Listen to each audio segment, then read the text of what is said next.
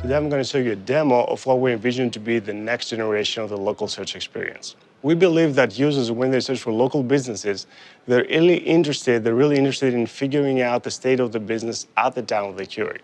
For instance, it would be great if we could show the users how crowded the business is at the time of the query, or if we could show the users what type of music is played or how loud the music is at the current business over the last 30 minutes.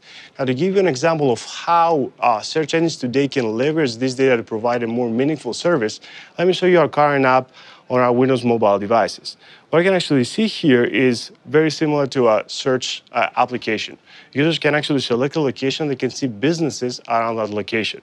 For every business, we're displaying real-time metadata about these businesses. We're going to display what the occupancy level in the business is, what the noise level in the business is, what type of music and what is the level of the music that's actually playing in the business, and how loud the human side of the business is.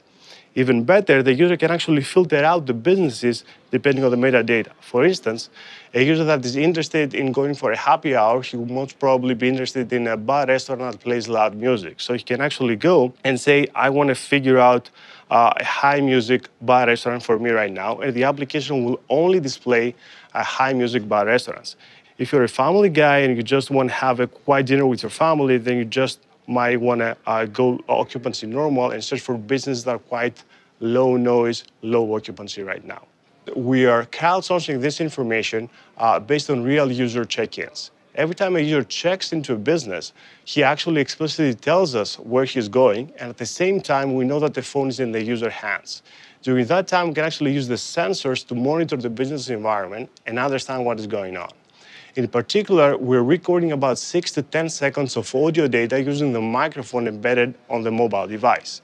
Then we analyze this data in both the temporal and frequency domain to extract some subtle set of features that describe human chatter and music. And then we use this set of features to train classification models, and we found we can actually accurately classify sounds into these different levels of business metadata with more than 80% accuracy. Now, let me play back some of the traces.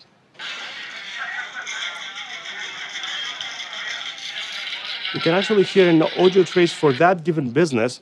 It's clearly a high uh, volume business with a lot of people, and uh, he can actually uh, hear the noise from the bar, and he can hear the human chatter. So what I've shown you in this demo is actually new technology that can help enable a whole new generation of queries that none of the search engines can actually enable today.